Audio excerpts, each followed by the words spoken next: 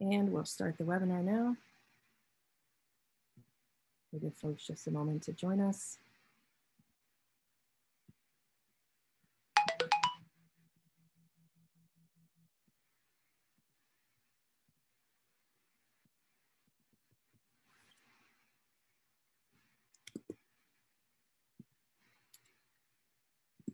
All right. Good evening, everyone. Welcome to tonight's live online author event with Greenlight Bookstore. I'm Jessica from Greenlight, and we are thrilled to host tonight's event with Min-Jin Lee and Jennifer Buehler to celebrate the publication of Penguin Classics Deluxe Trade Paperback Edition of The Great Gatsby. Before we start, I just want to say a huge thanks tonight to Min, Jennifer, and the team at Penguin Classics for making this happen, and to all of you for showing up. Though we're not able to host events in our store spaces right now, our community of authors and readers is still here. We're grateful for your support and for the chance to make space for conversation and connection. Now, just a couple housekeeping things. In our Zoom webinar tonight, you can see and hear the speakers, but they can't see and hear you. They can see that you're here though, and you can see a count of fellow attendees on the top of your Zoom screen if you're interested. There are a couple different ways you can interact with the authors and with each other throughout tonight's event, which we do highly encourage. The first is the chat, which you can find by clicking on the icon that looks like a speech balloon. You're welcome to post your comments and thoughts in the chat. It's a great way to show your appreciation for the authors and interact with fellow attendees. If you have a specific question you'd like to have answered by the author, please post that question in the Q&A module. You can find that by clicking on the icon that looks like two speech balloons. We'll be pulling questions only from the Q&A to be answered in the later part of the program. We are recording tonight's event, so look for audio and video versions on our social media channels later on. And importantly, tonight's featured special edition of The Great Gatsby is available for sale from Greenlight Bookstore. You can shop in person in our bookstore locations 12 p.m. to 7 p.m. every day of the week, and you can purchase The Great Gatsby and many other great books on site, or order online at greenlightbookstore.com for a quick pickup at the store or for shipping anywhere in the US. I'll drop the buy link in the chat in a moment. If you care about supporting the careers of authors and the ongoing existence of independent bookstores, buying tonight's featured book is a great way to show your support. Okay, on to introductions. Our speakers tonight are Jennifer Buehler and Min-Jin Lee. Jennifer Buehler is Associate Professor and Director of Graduate Programs in Educational Studies at the School of Education at St. Louis University. She's the author of Teaching Reading with YA Literature, Complex Texts, Complex Lives, and the former host of Text Messages, a monthly young adult literature podcast sponsored by readwritethink.org. Jennifer received her PhD from the University of Michigan after spending 10 years as a high school English teacher, and she received the NCTE Promising Researcher Award for her ethnographic work on urban school culture. She's the author of the Suggestions for Further Exploration featured in the premium mass market edition of The Great Gatsby from Penguin Classics. Min-Jin Lee is the author of the best-selling novels Free Food for Millionaires and Pachinko, which was a finalist for the National Book Award and one of the New York Times Book Review's top 10 books of, of 2017. She's a writer in residence at Amherst College and the recipient of fellowships from the Guggenheim Foundation and the Radcliffe Institute for Advanced Study at Harvard, and she lives here in New York. She is the author of the introduction of this new Penguin Classics edition of The Great Gatsby. So Min and Jennifer are gonna be talking about F. Scott Fitzgerald's The Great Gatsby tonight. A brilliant evocation of the roaring 20s and a satire of post-war America obsessed with wealth and status, The Great Gatsby is a novel whose power remains undiminished after a century. It's also particularly special to us at Greenlight Bookstore. It's one of the sources of the bookstore's name and is our only permanent staff pick. So we're really looking forward to this conversation tonight about the book's legacy and about this new edition, which restores Fitzgerald's masterpiece to the original American classic he envisioned, based on scholarship dating back to the novel's first publication in 1925, and featuring Min-Jin Lee's introduction addressing how gender, race, class, and sexuality complicate the pursuit of the American dream. So Min and Jennifer will be talking together and then we'll open it up to your questions after that. Please take it away, Min and Jennifer. Thank you so much for the intro, Jessica. Min, I'm so happy to be here talking to you. Hey, Jennifer. Hey. So, How are um, you, girl? I'm great. We did not know each other when we both signed on to this project, but I want to acknowledge up front that we are both Yaleys and we do our homework. And part of my homework for taking on the project was first to learn about you, which oh involved reading Pachinko and Free Food for Millionaires and looking for kind of points of intersection between the two of us. Um, so that leads me to feel like tonight is a real privilege because um, getting to know you has been a perk of the project. So when we were planning, we thought that we would talk about um, first how you approach the project of writing this intro. Um, second, a little bit about this book as it lives in the world of schools as well as literary and popular culture. So, like thinking about what it means to read the book as part of a classroom setting versus reading it on your own. And then I'd like to talk, thirdly, just about literature as a prism for reading the world and oneself as a participant in that world. So, that's the arc that I'm imagining. Um, I want to first just say that when I got to read your intro, um, it wasn't in this copy of the book, it was in the page proofs that landed in my email in August. I loved the intro so much, Min, and I loved that I was reading it, having a little sense of you at that point. I wrote you this long letter from the back seat of my car. We were taking my kid to college. I was moved personally by the intro because you wrote it personally.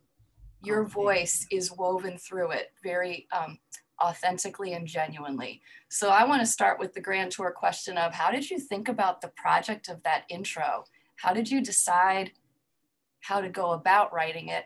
But actually, prior to that, I want to ask why did you say yes to this project? When Penguin Classics came calling, why did you accept the invitation and, and not decline it? Well, first of all, thank you to Jessica for the introduction and for having us. And thank you, Jennifer, for your kindness and generosity and genius. They asked me who I wanted to talk to, and I said I want to talk to you because I have read your letters, and I also I know that you know everything about this book far more than I do. And I figure, you know, I'm just going to lean on you heavily when I have deficits. But to answer your question, and you're such a good letter writer too. That's one of the things I wanted to say. I, I, I was kind of overwhelmed by the the bigness of your mind. It's very cool. So I think that I approached this project or I, I, accepted it because I've turned down some other invitations that I've gotten to write introductions because I think the Gat I think that Gatsby is so permeated through our culture, not just America, but around the world. And because I've lived overseas and I've had to travel so much um, pr- promoting books and to give lectures, I know what Gatsby means to people around the world. And I thought, well, what is it that I really want to say about the Great Gatsby? And I had so much to say. And then I thought, well, how do I even approach that? Um, the frame that I approached initially was I'm working on my third novel, and Fitzgerald is working was working on a third novel, and that seems completely insane to sort of like talk about it that way but that was really important for me because in a way when i was in college and you and i know what that means to be in new haven and um, the, the, the space that Fitzgerald puts Nick Kerouac in, the Car- Carraway in, as well as uh, puts um, Tom. Tom. Buchanan mm-hmm. in, because they're both Yaleys. And yep. when I think of Yaleys, I don't think of me. I actually think of people like that. Mm-hmm. I wanted to figure out well what was so important about me going to a place like that and I thought it's because that's when I really that's when I realized that writers are regular people. So even F. Scott Fitzgerald, the author of The Great Gatsby, and what that means around the world a hundred years after its uh, publication virtually, we think of thinking of we, we think that he's just a regular guy and that was really important. I think sometimes we forget that writers are just regular people. And for the most part, they're kind of really messy, sloppy people. And I think that's a good thing to know.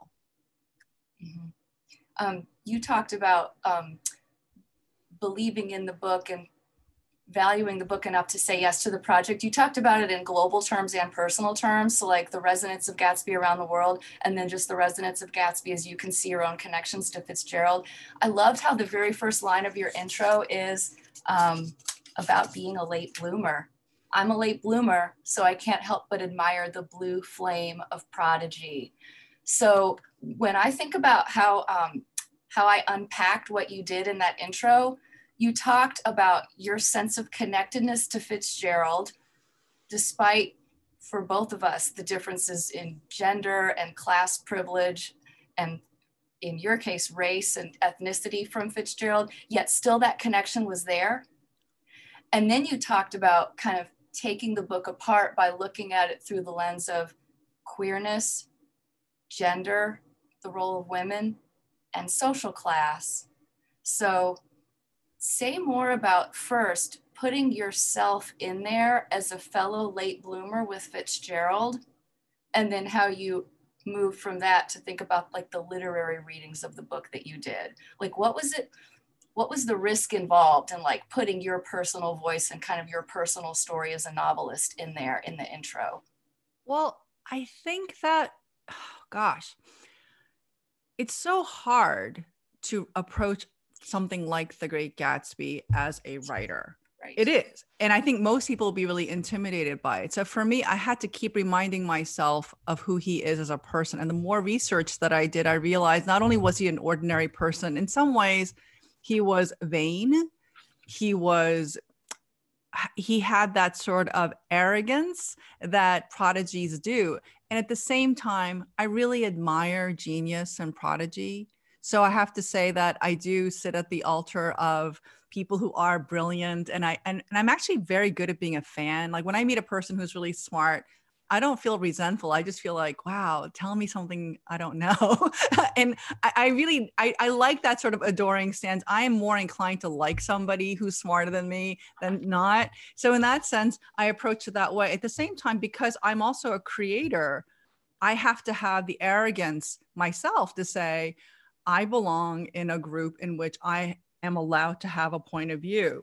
But, and I think that for me, I have admired and I have learned about writing by reading great writers. I've always approached all of my kind of um, autodidacticism, very hard to say.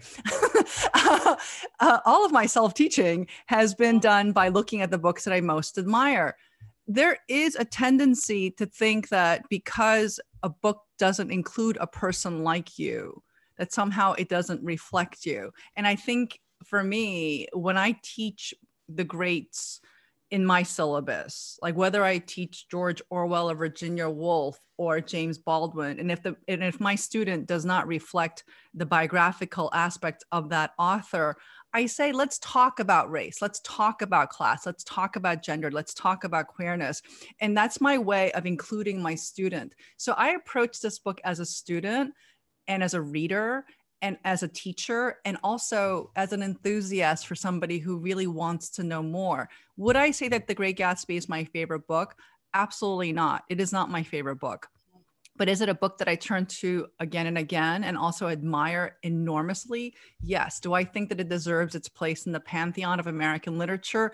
Absolutely. So I think that I kind of approached it in those ways. And wherever I tried, and I and I was really thinking about kids who are poor, kids who are in high school, kids who are in college who are reading this book for the first time and how would that young person look at this book and go like is this just about some white people from the midwest to go to new york and i thought that would be sad if you only saw it that way mm-hmm. Yeah, I agree. And all those things resonate with me. This is not my favorite book, but it is so important to me to think about the lasting power that some books have. And this is one um, who has that lasting power. Um, you said um, that you come to it as a reader, a teacher, an enthusiast. And you said something in your introduction that you've loved the book for a long time so not a favorite, but you can still feel love for it, and that your understanding has grown more layered and provocative. So I'm quoting you in the beginning part of your intro. So I'm juxtaposing that with what you just said, that you're thinking about potentially kids in high school classrooms who are going to pick up this edition and it's their first time. But when you think about your layered experiences with the book over years, how has your reading become more provocative of the book? What did you mean by that? I think it becomes more provocative because I'm not scared of F. Scott Fitzgerald. Uh-huh. Like if I uh-huh. met the guy at a party, I wouldn't think, oh, he's better than me. Does that make sense? And I say that I, I say that very specifically because F. Scott Fitzgerald often w- worried about things like that, worried about being the inferior person at a party. So I think that he would even understand my statement. Um, when I was a young person and I looked at a book like The Great Gatsby, and it was told to me by librarians that this was an important American book, of course, I approached it with a kind of awe and wonder. I'm 52 years old. I mean, this young, this man died at 44. So at this point, at my age, I'm actually older than when he was when he died. And certainly he wrote this book in his 20s. And he was a young married person in his 20s who kind of was trying to understand well, what do I do with the fact that I'm working on my third book and my second book didn't measure up to my first. So what will my third be like? And I want and he says, I want to be extravagantly admired again. So I think that because I'm not afraid, because I'm not overawed, because at this point in my life I've met some of the greatest writers in America, I'm thinking, well, you know, he was a good writer and he had a lot of important things to say. And just because you write a really good book doesn't mean that you always write very good books every single time. so in that sense, I can become more provocative and I can, and I can be more challenging. And also I care less what people think what I say anymore as I get older. I'm, I'm willing to say, you know, why don't we talk about the queerness of this book? Why don't we talk about the race aspects of this book? And why don't we talk about money? Because I think Fitzgerald was really interested in money. I mean, every one of his correspondences almost seems to talk about money. And I thought, let's talk about money. hmm Yeah, we're both older than him. It's pretty sobering when you put it that way. You're 52, I'm 50, and he's we're twice as old as he was when he wrote that book. That's right. So I'm more inclined to be intimidated than you, I think, but it's really helpful to just think about that positionality, um, you know, in the world. So um, you were talking about kind of creating spaces for kids to come at this book through the way Mhm. you approach the intro. So let me think about two things at once here. You also told us in the intro that you still have your own first copy of Gatsby. Dang it, I do too, and it's way over there on the top of my bookshelf. But we both have, I mean, mine's the little mass market edition that I read in high school. And you said you, your copy says in, inside the front cover, second time, um, 84, 85. It was a book that you were reading for the second time between your junior and senior year of high school. So let me touch on that little piece of biography first before we skip back to what you did in the intro. What do you remember about the first time you read it? Oh, I remember thinking it was really fun to read. It was so soapy and propulsive, and I only read it for plot. And I wasn't thinking about all the minor characters. I was reading it just kind of like, oh, will he get the girl? Right? Boy loses girl, tries to get the girl, tries to get a lot of um, money in order to get the girl, throws a lot of parties, tries to invite the girl. you know, that's what you're sort of thinking about the age of 13 when you're reading it, because and of course, in a way, when you're that young, you're thinking, am I the girl? Am I the boy? What am I? Where, where do I fit in? And then, of course, every single time you read it again, and also at a different point in your life, like I do not identify with Gatsby anymore or Daisy or any of those people. As a matter of fact, I think of it much more like I, I, I'm thinking, let's talk about capitalism. That that's where I am. And and I think the more I studied F. Scott Fitzgerald, the more I realized, no, that's what he was interested in too. Mhm. Do you remember when you read it, like other um, like markers in time of when you picked the book up? Like, did you only read it in school? Slow down. Did you read it in school? No, it was the summer. Why did you pick it up between your junior and senior year? Oh, well, you know, I came to America when I was seven without having any knowledge of English. So I've always been trying to learn how to read and write and speak by reading. No one ever told me to read it in a book by a teacher. It wasn't a teacher who told me to read it. It was just, mm-hmm. I thought I would read everything that was great. Like that was my insane thing. Like I thought, I did it okay, too. Right. Like Yeah. I was like, I'm going to read every great book. There you go. Mm-hmm. I'm going to start now. and then and then I just kind of went for it. And then I realized it wasn't even a goal anymore. It was something that I just loved. So I mm. would rather read more than anything. And even now as a writer, I really see myself as a reader. I think of myself as a world class reader. like I don't think of myself as a world class anything, but as a reader, I'm like, I'm really good. you can put me up there with anybody. And it's and I think that's the joy that I felt with Fitzgerald. But going back to your question, how many times did I read it? Gosh, I read it at least half a dozen times, Mhm. and at such different spaces and time. Like, how, when did you read it as an adult? Like, were you in your 20s or 30s or 40s? So um, I read it in high school, junior year American Lit, and then I don't think I picked it up again until I was teaching high school in Michigan, and it was one of the American Literature Core course books. So I have a, a second copy of the book that was from that time period. So that would have been when I was in my mid to late 20s as a young English teacher. Um, and then I don't, it's not a book, unlike you, I didn't pick the book up ritually over time um, as it was informing like my projects or my life, you know, my life's work. Um, then I read it again this summer as an audio book, the audio edition by Tim Robbins, in order to reacquaint myself right. with it for this project. So I mean, I had that period of reading it and rereading it a bunch as a teacher, but really there's just like three points on my timeline arc. And it sounds like you've got more, and it sounds like you always read it in a non-institutional space. Is that right? Yes, always in a non-institutional yeah. space because I don't have the training in English and literature. Mm-hmm. So, and I think that you can see my anxiety because I take my scholarship so seriously because I don't have the formal training. Mm-hmm. I was not an English major. I went to law school. I don't have an MFA in literature or in fine arts for creative writing. So when I was writing the introduction, I did something really strange. I was given the option of writing as much as I wanted to write. So then I did. I ended up writing a 6,000 word essay. I think most novelists who write introductions tend to write something between 1,500 to 2,500 words.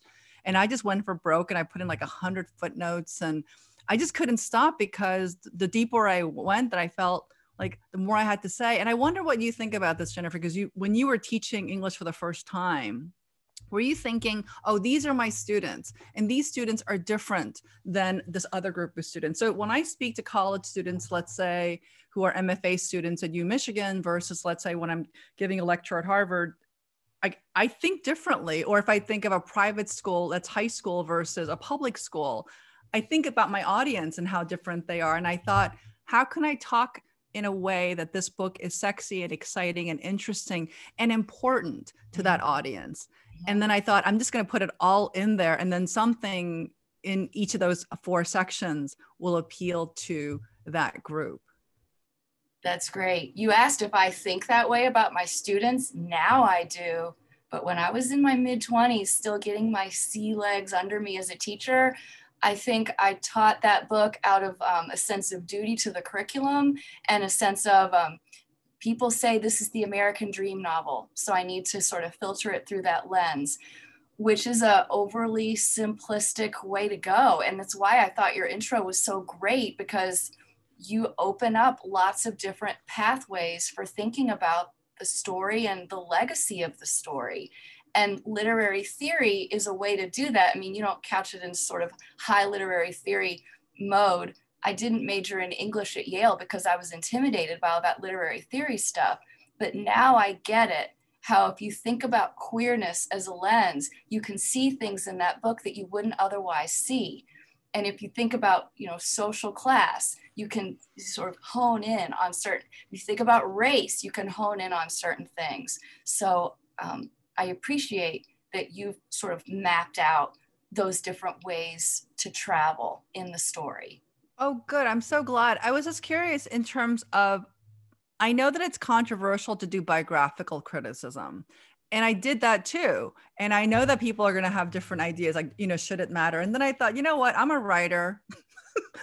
I can say if mm. I'm having a bad day, it does affect my pages if I'm worried about, let's say, money, it does affect my pages. If I was having an affair, it would affect the way I understand love. So I said, I'm going to put it in there. And there are going to be people who don't like it.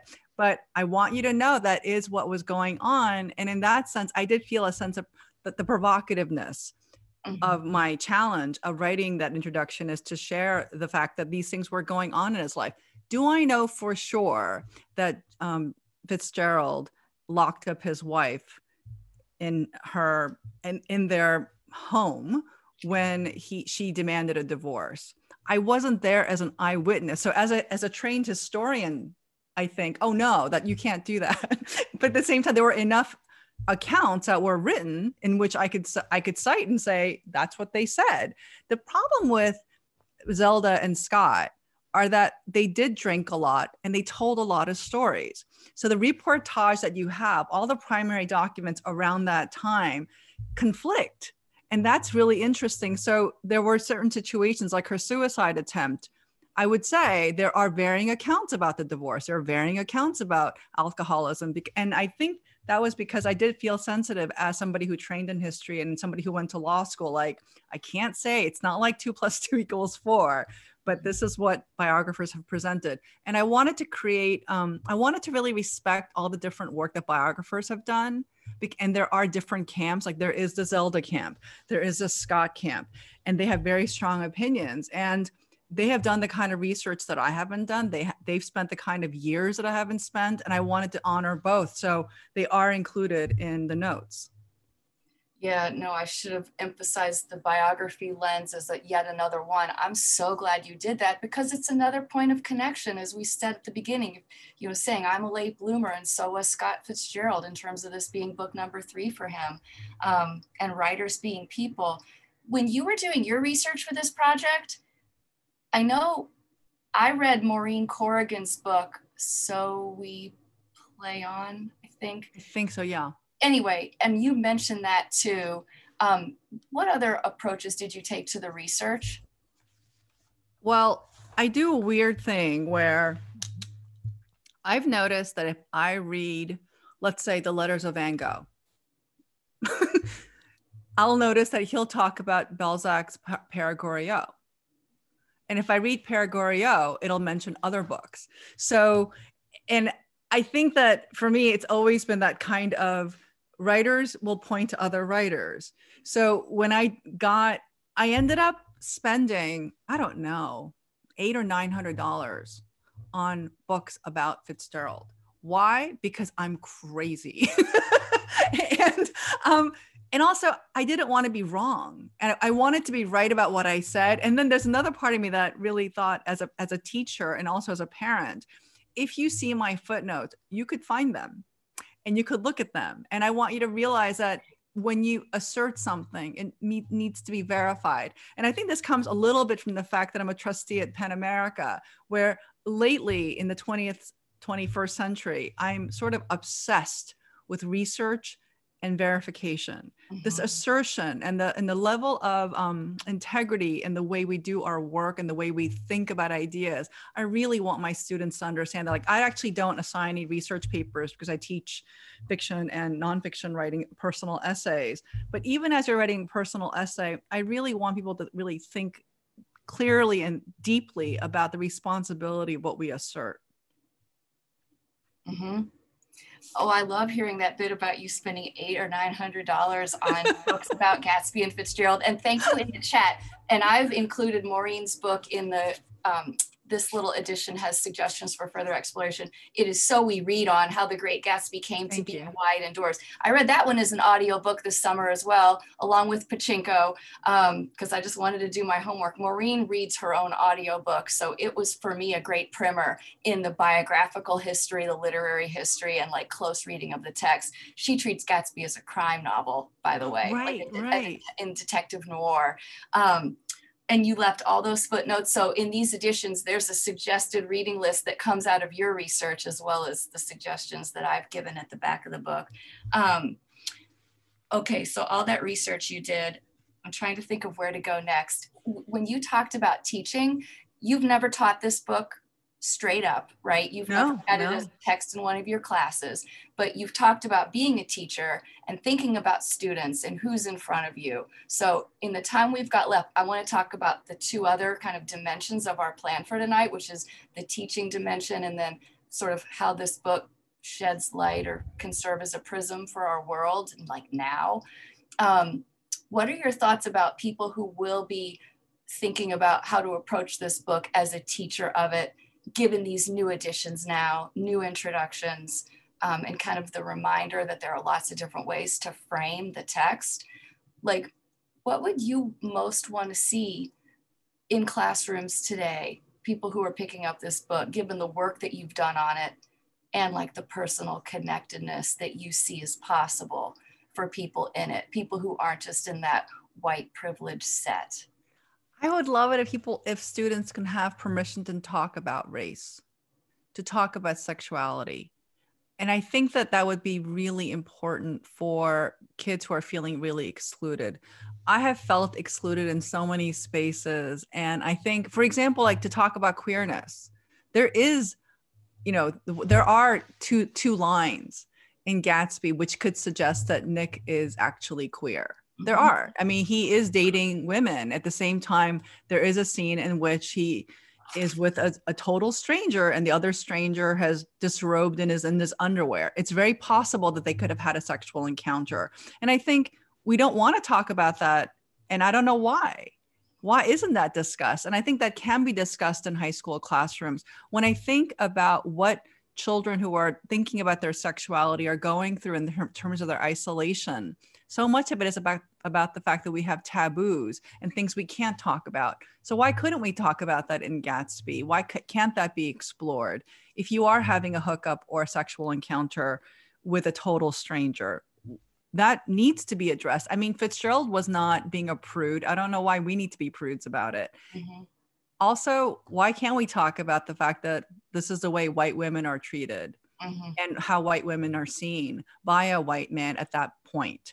Um, in the 1920s, there were non white people in America. There were quite a lot of non white people in America. So when we think about this book as being a definitive period about the roaring 20s, no, we're actually saying it's just about a certain group of people. Mm-hmm. And when you give students permission to say it without any sort of judgment or cruelty or no we can't talk about it oh we're not going to talk about race again and I think that's really a mistake and it makes students feel really disconnected. So many students in public schools are not coming from Minnesota. So if they're not, then can't we talk about, can't we include them since we have uh, b- these bigger themes that need to be addressed? Mm-hmm. I think um, pathways in talking about social class are a little bit easier. Let's talk about the race part too. Like mm-hmm. you were thinking, if I were teaching this book, I would want to make it clear that this book isn't only just for white kids and this book is not just about a bunch of rich white people. Like that's the characters in the foreground, but there's like subtext and background here too. What are your thoughts on like the kind of conversation that we can open up around those layers? Race well, layers, identities beyond like just sort of traditional privileged white people. Oh, you know, for example, the anti Semitism about Meyer Wolfsheim. Mm-hmm. Like, I want to talk about that. So, in my syllabus, I I present some of the greatest writings in, in short segments to my students for fiction and nonfiction. So when I teach my students about essay, I, I basically say, if you don't know Vir- Virginia Woolf, Annie Dillard, uh, Tom Wolfe, George Orwell, in addition to you know uh, Richard Rodriguez and James Baldwin, then I don't think you really have considered the Western or especially the American essay, especially the Western essay. That said, if you read some of their work, they say some really dumb racist things. They have.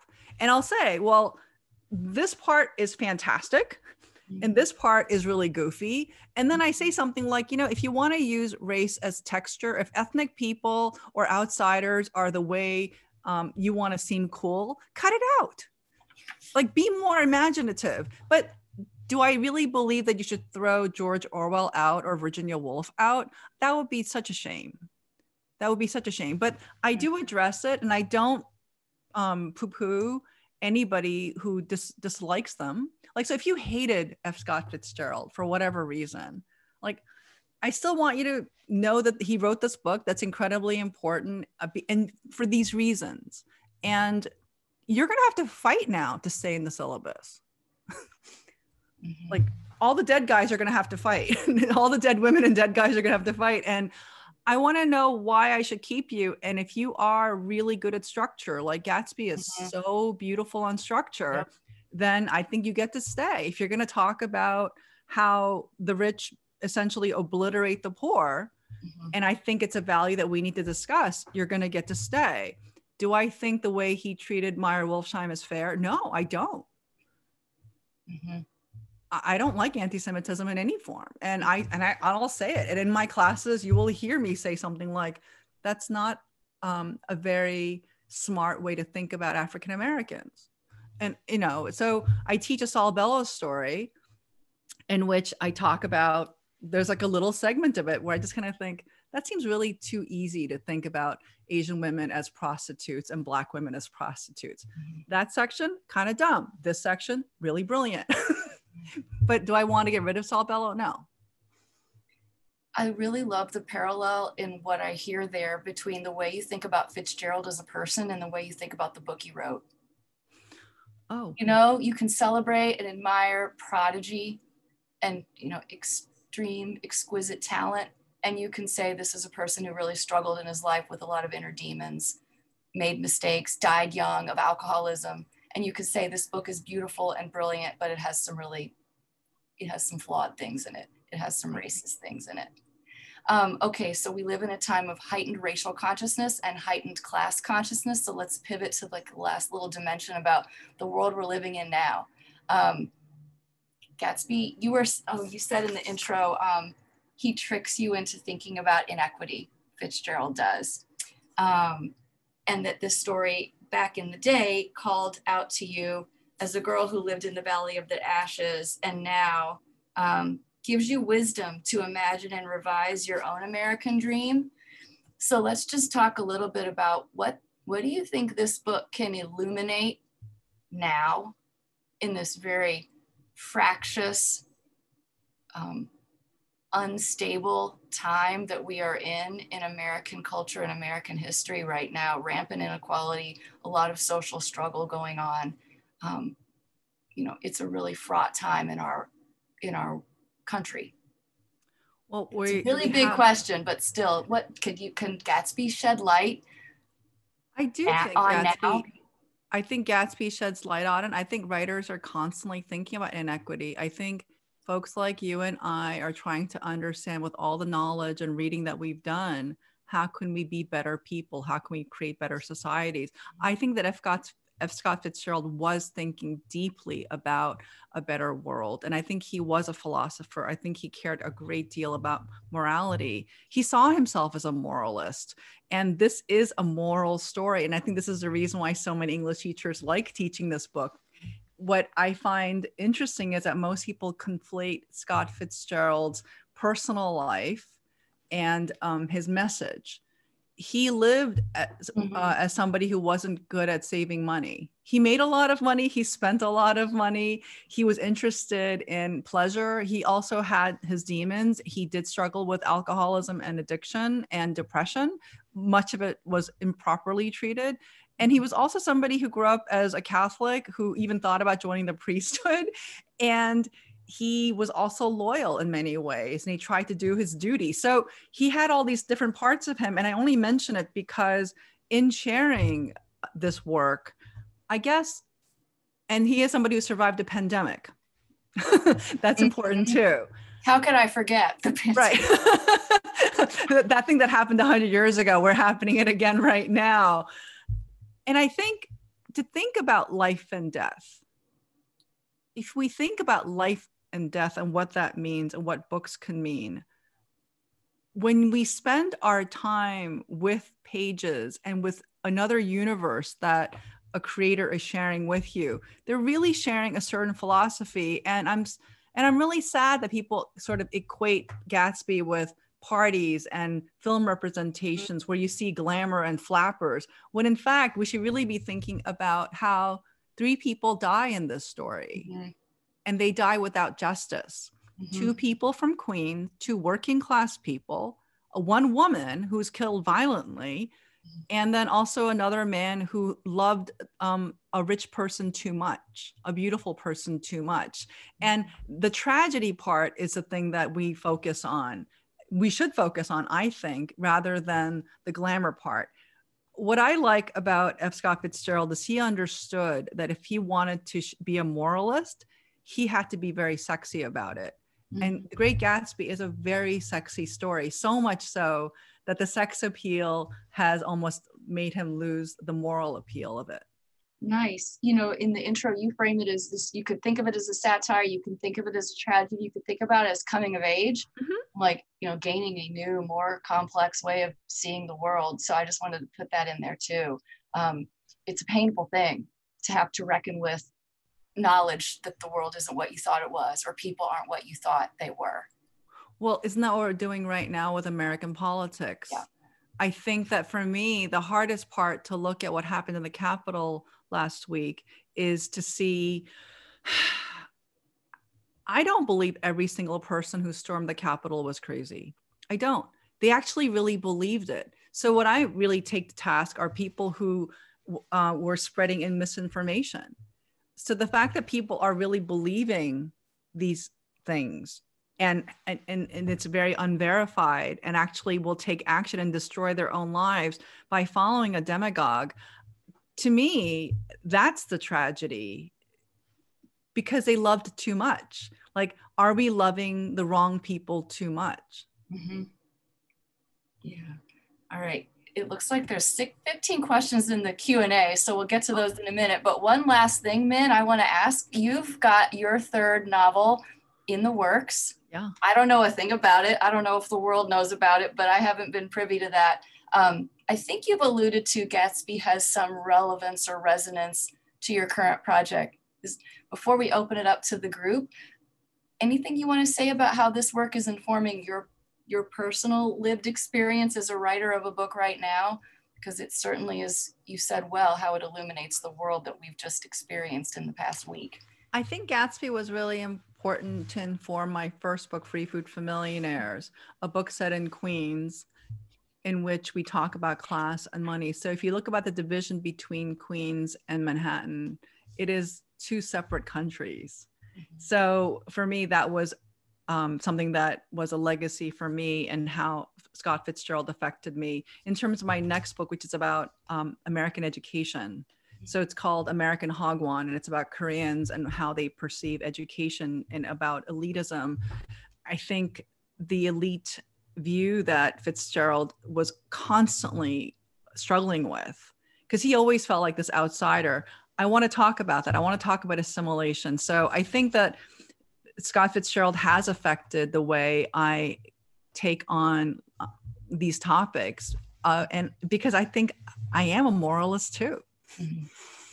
Great. Okay, Jessica's back. Jessica, help us with the Q&A. There's 16 things in there. I haven't even looked at it yet. Oh my. Thanks, Min and Jennifer. We have a lot of really good questions. So it's my pleasure to bring them to you and hear what you've got to say about them. Um, the first one we've got is from Nicole, who writes Hi, Min. You wrote that the publication of Gatsby wrote, broke Fitzgerald's heart. Will you expand on that? Oh, well, it broke his heart because he wanted to be successful. And it was critically successful, but it was a huge commercial failure. And he really needed the money because at that point in his life what happened was he had written the play the vegetable. He thought it was going to go on broadway and become this huge success and of course it never went to broadway. It got terrible reviews and then he was left in debt. So tail between his legs he had to go to europe and kind of hide out while he was writing gatsby. And then of course with gatsby um, the reception of it for him was very painful because it didn't do very well. Um, his second printing never sold out. So it didn't go out of publication, but it never sold out. And, and while he was alive, there were copies still in the warehouse. No, no writer ever wants to hear that. um, okay, so this is this is a great question. It's something you touched on a little in your conversation, um, but it's from Mina. She says, uh, It's so interesting to hear your take on representation. As a high school English teacher, we are revisiting the canon of American literature and definitely rethinking the biographical representation. Mm. How would you balance this when thinking about a general survey of American literature? For example, we just added Ernesto Quiñonez' Bodega Dreams as part of the canon, and our Latinx Hispanic students were over the moon. So maybe both of you guys could speak to that. What do you think, Jennifer? What about um, revisiting the canon and expanding yeah. the canon? Um, so my first take is there is a group of brilliant, four brilliant women in National Council of Teachers of English. Their hashtag on Twitter is called Disrupt Texts. And Tricia Ebarvia, Julia Torres, Dr. Kim Parker, and Lorena German they are doing really brilliant work about thinking very innovatively about how to decenter the canon or complement the canon with text that would mix it up. And kind of like in your intro give just more ways in for students. So i don't have anything great to add in, in response to this question other than the notion that bringing in books like bodega dreams is exactly what the dis, the spirit of disrupt text is all about.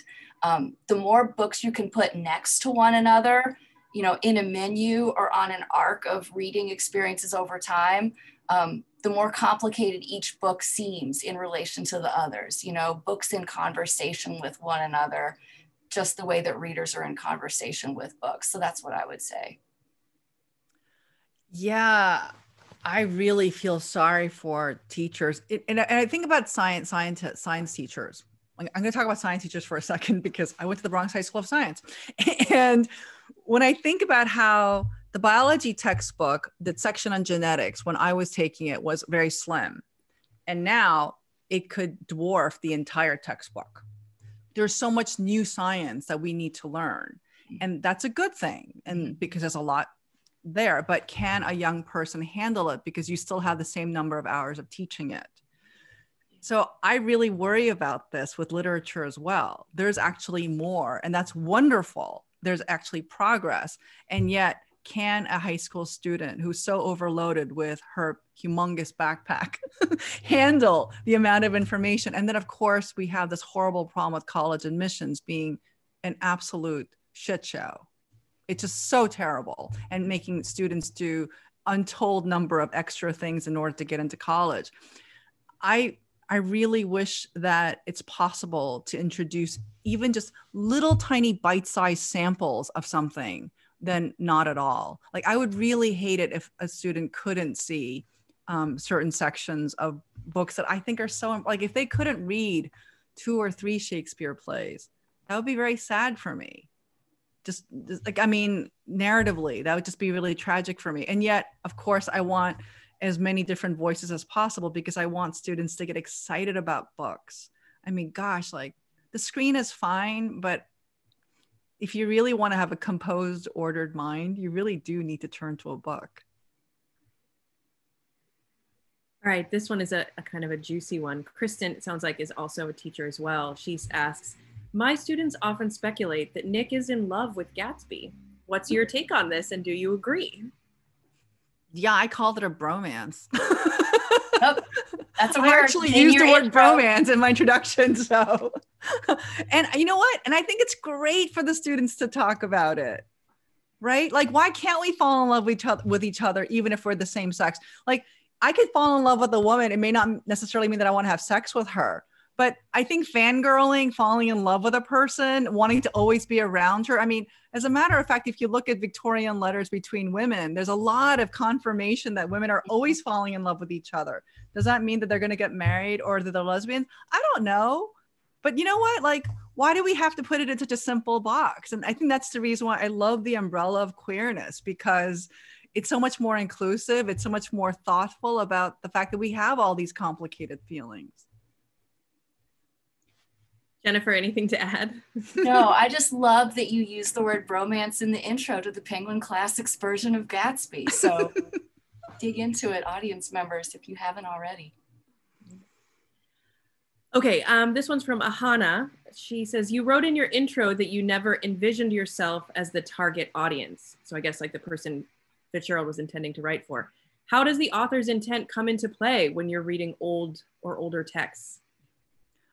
I'm 99% sure that I was never the target audience for most of the books that I love, but it doesn't mean that I can't love them and it doesn't mean that I can't see that that bias didn't exist.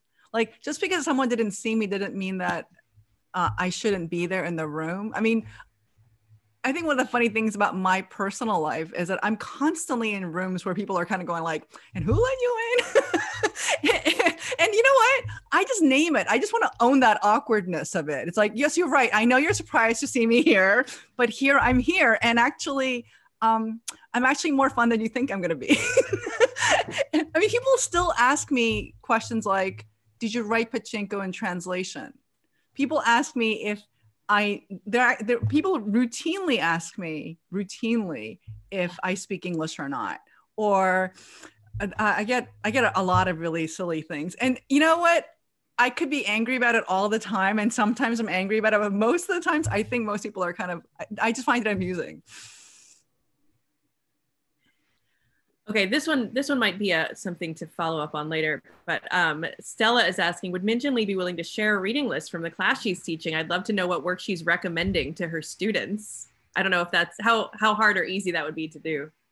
Oh, I don't know if I want to share my entire syllabus, but let's see. Um, you know what? People are probably surprised that I have. Uh, oh gosh, you know, I, I'm going to think about this some more. But you know, the fact that I do teach Saul Bellow people are always surprised by that, but I think he's terrific. There's a lot to learn from Saul Bellow. I teach Orwell. I, I, feel really strongly about teaching Orwell's essays. I teach Baldwin a lot. I teach Richard Rodriguez. And all these people have certain controversial, they're, they're very polemical figures. I teach Virginia Woolf.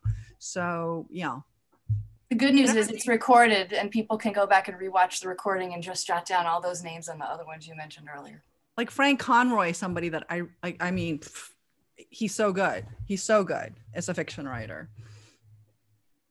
Those are some awesome uh, recommendations. Um, so the next two are both about um, comparisons between Fitzgerald book and, and your own workman. So one is from Jean, one is from Daniel. And Jean is asking about what characters in Free Food have great similarities or differences with characters in Gatsby. And Daniel's asking about parallels between Gatsby and Daisy and your characters, Hansu and Sunja. So I wonder if you want to talk about either either or both of those.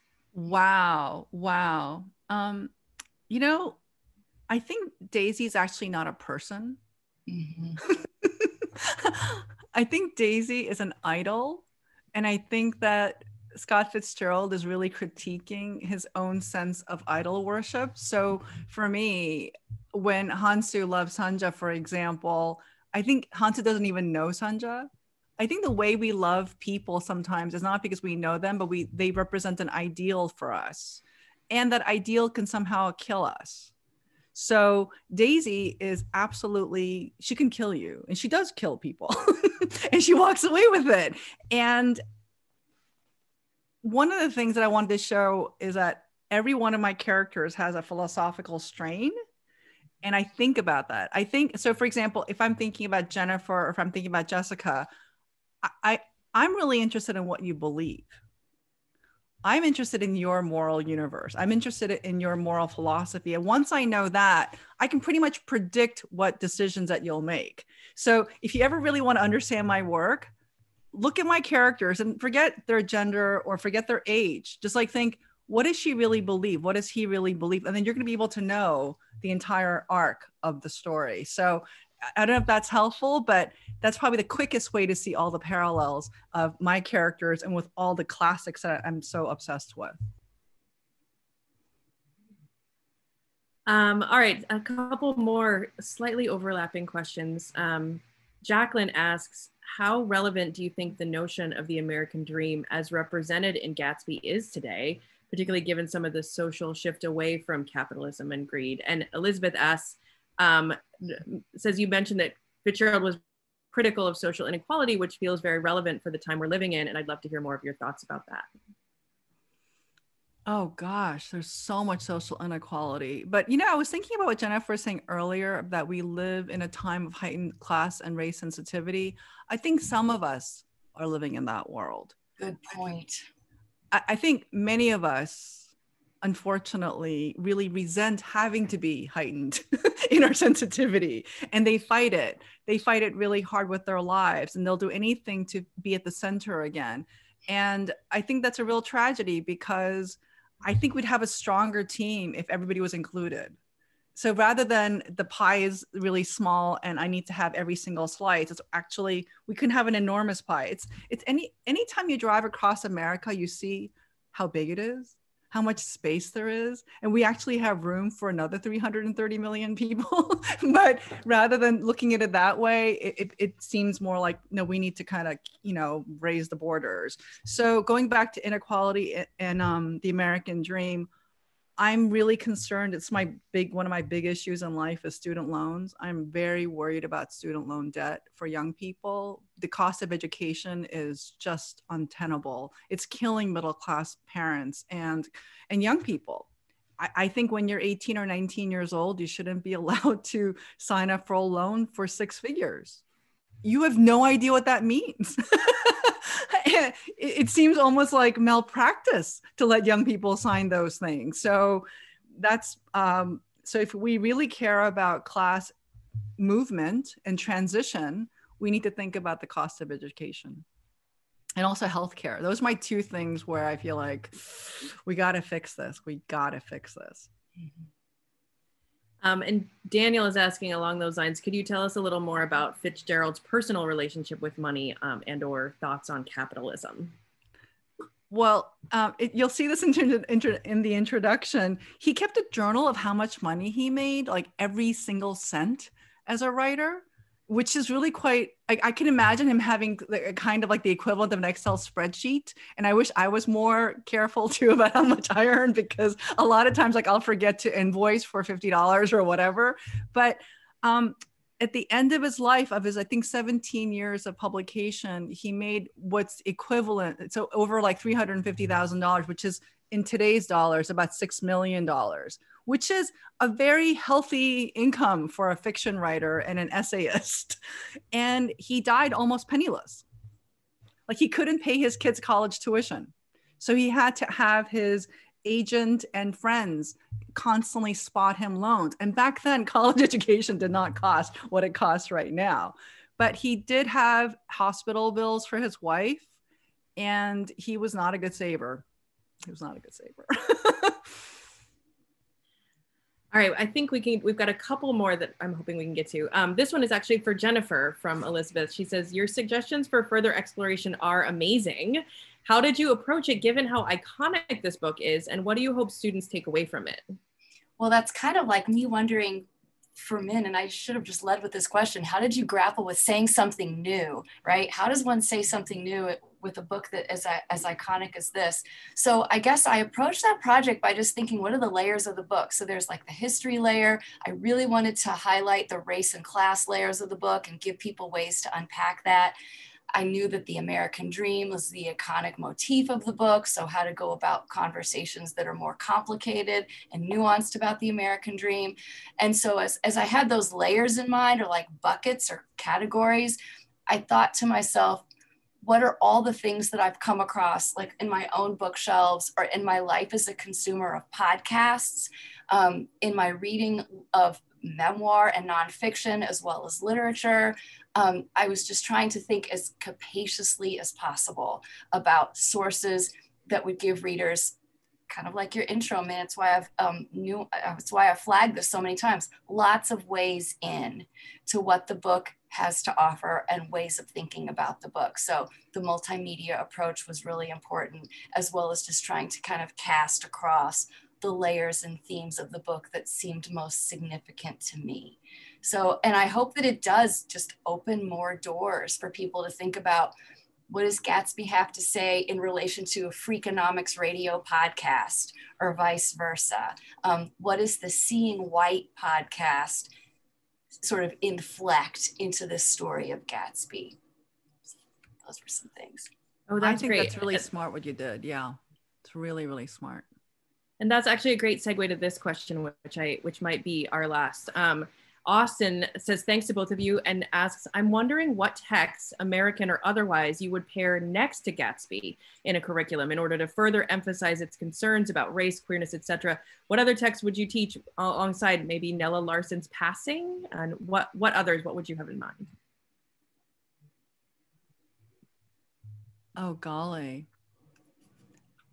I want to talk about, like, I guess, like Toni Morrison's Bluest Eye is a really good example of aspiration. It doesn't have the parties, but it's really a it is a story that has an aspirational quality to it. And the tragedy is that it's impossible to be white. And I think uh, that's one book that I, Nella Larsen's Passing is wonderful. I also think this is another old book is A Tree Grows in Brooklyn by uh, Betty Smith. But again, it's a really big book. I don't know how much space you have in your mm-hmm. syllabus. Jennifer, can you? But that's but that goes back to what you said, Min. You can give short clips of things. You don't have to mm-hmm. teach entire books. A book I read this summer that I'd heard of but hadn't read before, but thought it might work for this project The Short and Tragic Life of Robert Peace. Do you know this book, Min? Yes, I do. A brilliant young man who left mm-hmm. Newark for the Ivy League. He went to Yale like we did. So I, so like a little snippet of that book as an aspiration story alongside Nick Carraway's and Gatsby's aspirations. You mentioned The Bluest Eye how about Playing in the Dark by Toni Morrison? Yes. I mean, maybe just one essay out of that, but that's literary criticism about the role of Blackness in the white imagination. Um, those two jump out. Oh, and then I would suggest Citizen by Claudia Rankine. Mm-hmm. Being an American and navigating the American space as a person who's minoritized and excluded and microaggressed all the time. So just any books that can bring out the nuance that's in Gatsby that might otherwise go overlooked, I think are good. I'm not sure this is non because I think it's been controversial about Truman Capote, but In Cold Blood is so fascinating to read as a murder mystery in light of Gatsby. And I know that's like, like a really strange thing to say, but to really consider what that death means, I think that this is a part that really bothers me about the Great Gatsby and how it's a thought of is what the lives of George and Myrtle are. So these are my people from Queens. I want folks to really sort of spend time on George and Myrtle and what their lives mean, what it means that they have to die, that what it means that Gatsby has to. We we often think about Jay Gatsby's death. We don't think enough, I think, about Myrtle and George's death and what Myrtle wanted from having to, from being with a person like Tom Buchanan. There's well, there's so much that we could talk about still, but we're at the end of our hour. Thank you guys oh, so oh, wait, much. Wait, wait, I have one question. I have a question for you, Jessica. they asked me of all the bookstores and we should have this event, and I said, well, obviously Greenlight. so, can I ask you, as the owner of Greenlight, what you know, what made you name your bookstore Greenlight? The green light at the end of the dock. I mean, there there are a number of associations with the green light. We're in the neighborhood of Fort Greene, but um, but we liked the green light as you know a safe space, you know, as and also as something aspirational. And I think we one at one point we had T-shirts that had so we beat on boats against the current, borne back ceaselessly into the past, because sometimes that's what it feels like to do the work that we're doing. But also, you know, because it's it's a text that we return to over and over again, and it's about sort of you know, what you imagine, but also about a space where you can be safe. And th- those were those were aspects that we wanted to identify with the store. Terrific. Thank you. you weren't expecting that, were you? but thank you for asking. I mean, obviously, The Great Gatsby is really key and and and dear to us as a store. And it was wonderful to hear both of you talk about it. So thank you so much. The link to buy this special new edition is in the chat. Um, so i hope that you will check it out and read min's wonderful introduction. Thank you jennifer and thank you thank min. you jennifer. You're the greatest. Thank you both. What a treat.